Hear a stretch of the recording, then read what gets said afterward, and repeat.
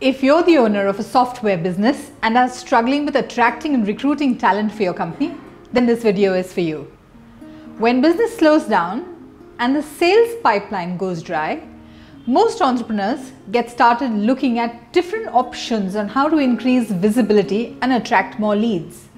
Of course, that's the right thing to do. You do need to get started on firefighting your way to generate more leads by marketing yourself harder. But of course, the timing is probably incorrect. There's no point waiting for the last minute to get started on this. Remember, the number of people who buy from you is directly proportional to the number of people who know and trust you. So, obviously, successful entrepreneurs generally recognize that a company's well being is dependent on its marketing. Well, that's exactly true for hiring as well.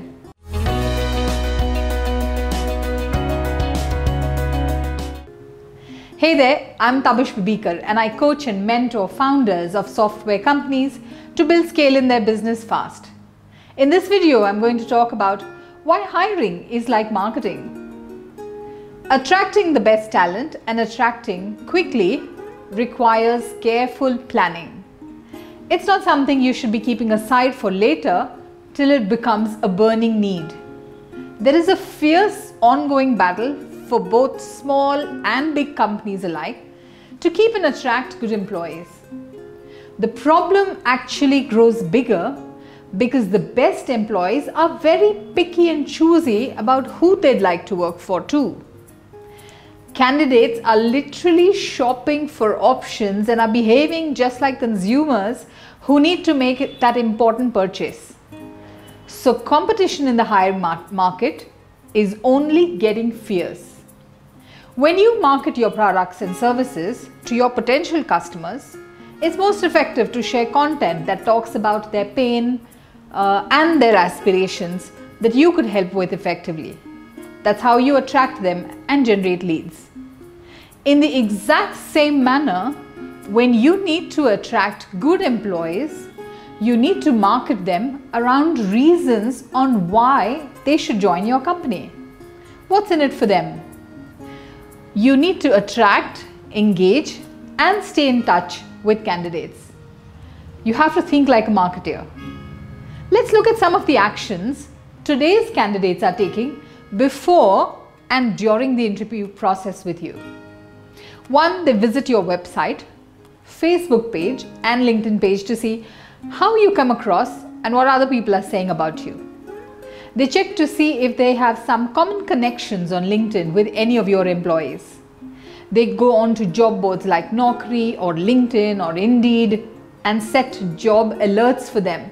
So they receive immediate notifications of all the other companies that are advertising for exactly the kind of role that they're looking for. They see what others have to say about your company and your selection process on Glassdoor. They Google for more information and news about you.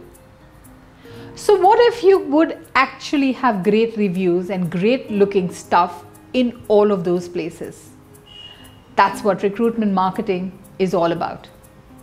Of course, you don't have to try and be great and look awesome everywhere in one go or one sweep, but plan to build your visibility step by step in a structured manner. Just like a sales marketing person creates a detailed week by week and a month by month calendar for what platforms or channels like LinkedIn or Facebook or email campaigns or Twitter, etc., they're going to be promoting on. Similarly, you need to invest time and energy to create a recruitment marketing calendar. Recruitment and marketing go hand in hand. I cannot underemphasize that. You do need to focus on creating trust and recognition with candidates. So, everything from your careers page on the website to the job boards that you are on will need to have matching brand recognition. The social media posts that are going out will need careful thinking and planning. How you publish your job descriptions and leverage SEO to attract the right candidates based on the, those keywords is also important. Carefully pick and choose content step by step to build more engagement week by week, month after month.